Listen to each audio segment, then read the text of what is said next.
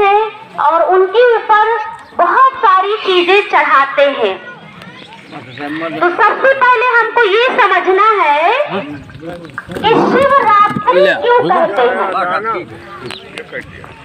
क्योंकि कोई भी बच्चा होता है उस बच्चे को चाहे 12 बजे रात्रि को भी जन्म हुआ हो लेकिन उसका मनाते हमेशा जन्मदिन ही है।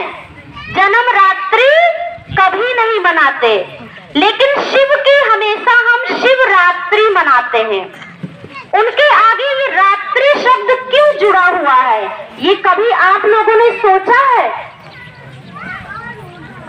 जो रात्रि शब्द उनके आगे जुड़ा है परमात्मा जब इस धरा पर आते हैं चारों तरफ़ अंधकार दुख अशांति अज्ञान के बादल जब चारों तरफ़ मडराने लगते हैं तब परमात्मा का इस धरा पर अवतार होता है।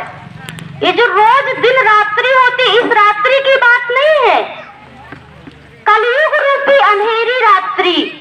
जब पर, परमात्मा इस धरा पर आते हैं तो कलयुग रूपी अंधेरी रात्रि जब हो जाती है चारों तरफ़ अंधकार हो जाता है तब परमात्मा इस धरा पर आते हैं।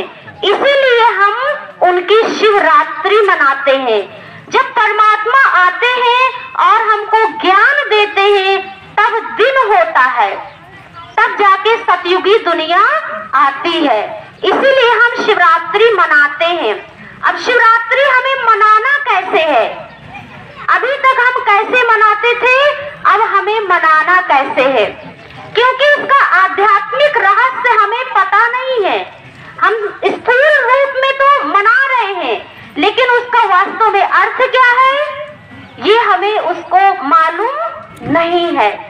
तो भगवान ने कहा कुछ और हम कर रहे हैं कुछ। परमात्मा जब इस धरा पर अवतार लेते हैं उन्होंने हमें हमारे अंदर जितनी भी बुराइयाँ हैं जिससे हमें दुख होता है वो हमारे ऊपर परमात्मा कहते हैं, हमारे ऊपर चढ़ा दो तो तुम्हारी सच्ची शिवरात्रि होगी क्योंकि शिव के ऊपर हम शिवरात्रि के दिन क्या क्या चढ़ाते हैं बेर धतूरे बेलपत्री आदि ये बहुत सारी चीज़ें हम उनके ऊपर चढ़ाते हैं। अब आप सोचिए, ये चीज़ें कभी और देवी देवताओं के ऊपर चढ़ाते हैं?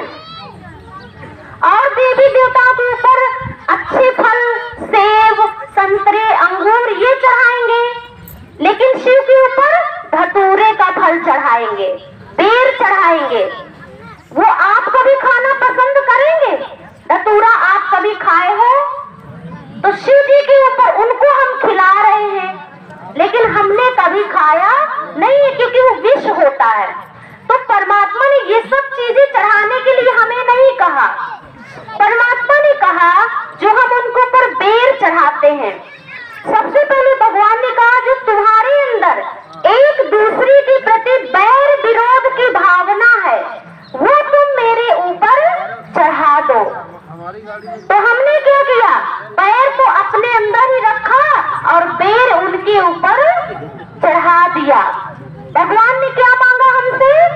बैर, जो हम आपस में लड़ते हैं, दुखी होते हैं लड़ करके तो वो भगवान ने हमें मांगा। तो हमें उनके ऊपर बैर चढ़ाना है, न कि बेर।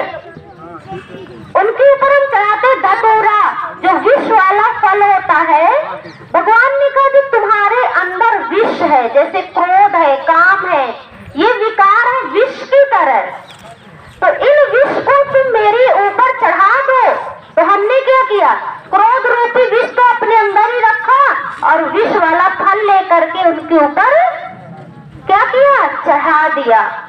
परमात्मा ने के ऊपर हम चढ़ाते हैं तीन पत्ती की बेल पत्र। जो ब्रह्मा, विष्णु, शंकर, ये तीन देव हैं, ये तीनों देवताएँ शिव के ऊपर बलिहार गए। क्योंकि ब्रह्मा के द्वारा स्थापना, विष्णु के द्वारा पालना और शंकर के द्वारा विनाश, ये गायन है। तो इन तीनों के द्वारा परमात्मा ने अपना कार्य करवाया। तो ये तीनों देवताएँ ही शिव के ऊपर बलिहार गए बलिहार गए मतलब उन्होंने जैसे अपना काम उनसे लिया, वैसे उन्होंने किया। तो आज हम क्या करते? हम तो कभी उनके ऊपर बलिहारते नहीं है, लेकिन तीन पत्ती की बेल पत्र उनके ऊपर बलिहार देते हैं।